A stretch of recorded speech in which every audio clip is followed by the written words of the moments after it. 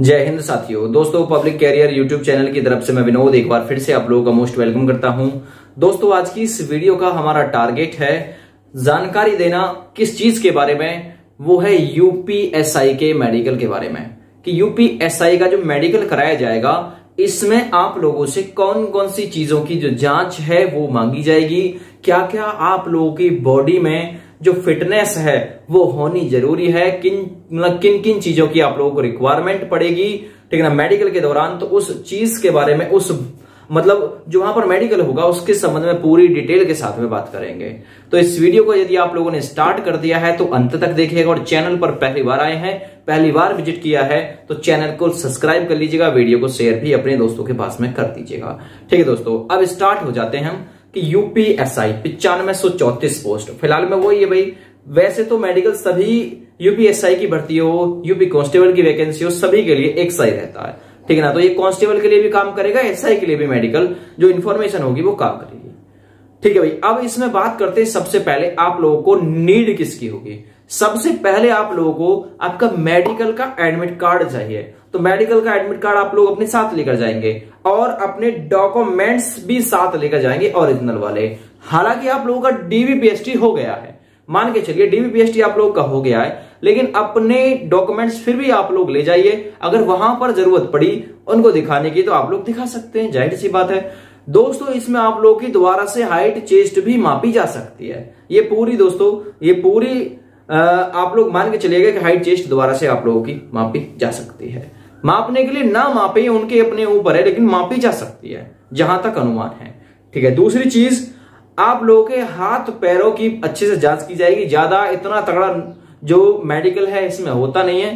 ठीक है ना, हाथ पैर टूटे मतलब फूटे नहीं होने चाहिए। कोहनी के जोड़ जो हैं या फिर हाथ पैरों के जो जोड़ हैं, वो अच्छे से वर्क करते होने चाहिए। देखिए कोहनी के हाथ का जो कोण है, वो किस प्रकार से वर्क करता है, ये चीज़ चेक की जाएगी। अंगुलियों की जाँच। पैर और हाथों की जो अंगुलियाँ हैं, वो बिल्कुल सही होनी चाहिए। कटी, फटी, टूटी, कोई हड्डी टूटी, किसी अंगुली की ऐसा कुछ नहीं होना चाहिए आपके मतलब हाथ, पैर में। ठीक है? कोई हाथ पैर की जो उंगली है वो बाहर की तरफ़ ऐसे करके बहुत से लोगों को निकले रहते हैं, वो नहीं। बिल्कुल सीधी ऐसी उंगली होनी चाहिए जैसे मैं दिखा रहा हूँ आप लोगों को, ठीक है? हाथ पैर की दोनों।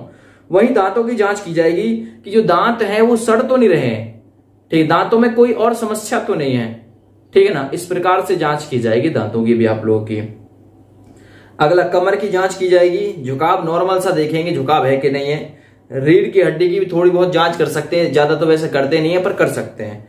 हाथ पैरों की जाँच ज़रूर की जाएगी अच्छे से। ठीक है भैया?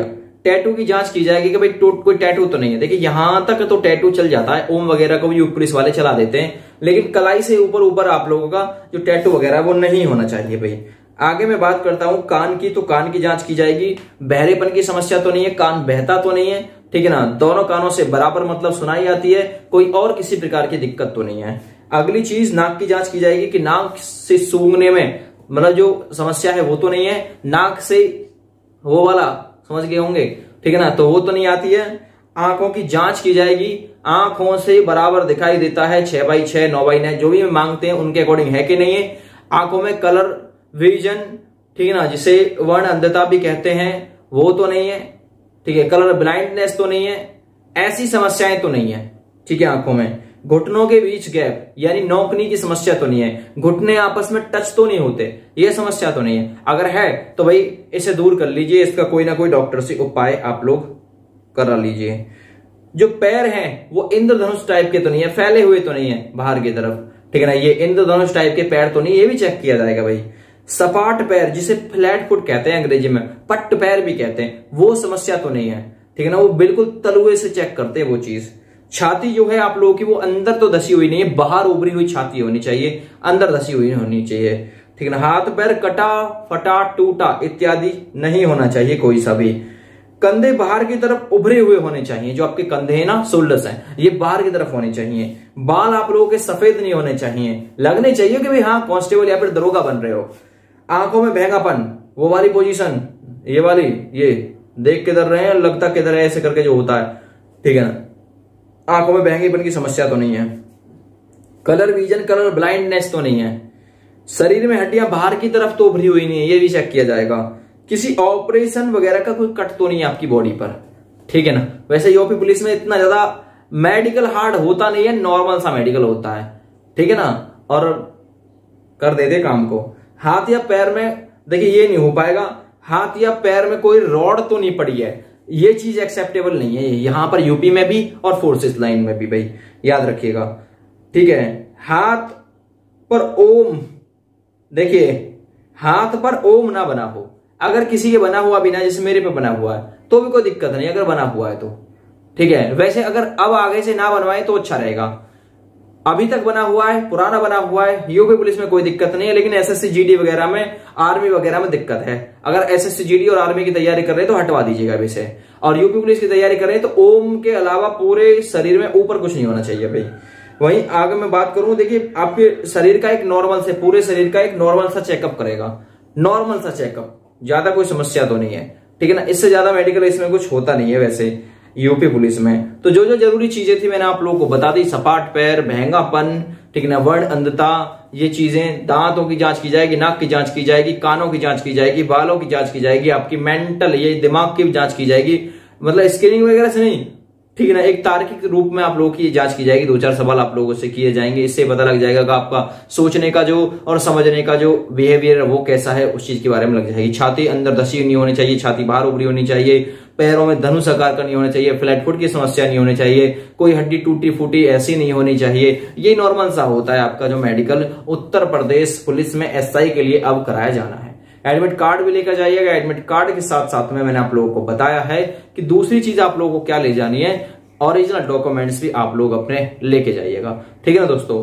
तो ये वीडियो यदि आप लोगों को अच्छी लगी हो तो प्लीज़ वीडियो को लाइक भी कर दीजिएगा यूट्यूब चैनल को सब्सक्राइब भी ज़रूर कर लीजिएगा, ताकि हम जब भी कोई वीडियो अपने यूट्यूब चैनल पर डालें तो आपके पास में सबसे पहले पहुँचे और आपका सपोर्ट अगर यदि हमें दोस्तों मिलता रहा तो एक ना एक दिन दोस्तों आप लोगों की हम और भी अच्छे से मदद कर पाएँगे आने वाले फ्यूचर में। ठीक है आने वाले भविष्य में। टैटू वगैरह आप लोगों का बॉडी पर कहीं नहीं बना हुआ चाहिए। एक बार और बता दूँ। ठीक ना? हाथ पैर की अच्छे से जाँच इसमें ज़रूर की जाती है। दांतों की, अंगुलियों की जाँच की जाएगी। ठीक है? तो इत्यादि टाइप की जो जांचेस हैं वो यहाँ पर की जाती है। यूपीएसआई मेडिकल में। देखिए यूपीएसआई में दोस्तों पिचानवे सौ चौंतीस पोस्ट हैं तो लगभग इतने ही कैंडिडेट इन्होंने क्वालिफाई किए होंगे। अब केवल आप लोगों के घर आप लोगों का ज्वाइनिंग लेटर पहुंचेगा। मेडिकल के बाद में। मेडिकल के बाद में आप लोगों के घर सीधा बाई पोस्ट के द्वारा, या फिर जो थाने वगैरह होते हैं उनके जो पुलिस अधिकारी होते हैं वो आप लोगों के घर, आपका मेडिकल के होने के बाद में आपका ज्वाइनिंग लेटर पहुँचा देंगे। ठीक है, आप लोगों से दावत वगैरह का भी जुगाड़ वो ज़रूर कराएँगे।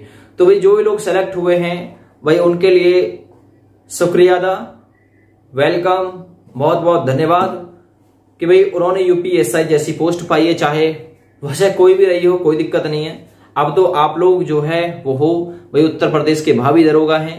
आप लोग, कुछ लोग कांस्टेबल से भी दरोगा बनते हैं तो भाई उनका भी लगभग जो चेकअप वगैरह है, वो मेडिकल नॉर्मल सा मेडिकल जो है, वो कराया जाता है, कुछ लोगों का ना भी कराया जाए, सीधा उन्हें बना दिया जाता है। अब जैसे कोई कांस्टेबल है, वो कार्यरत है, अगर वो डायरेक्टली पेपर के थ्रू लगेगा तो मेडिकल वगैरह सब होगा। लेकिन अगर वो डायरेक्टली विभागीय स्तर पर लग रहा है तो कोई चीज़ इसकी आवश्यकता नहीं है। तो ये वीडियो यदि अच्छी लगी हो तो शेयर ज़रूर कर दीजिएगा। Thank you bye bye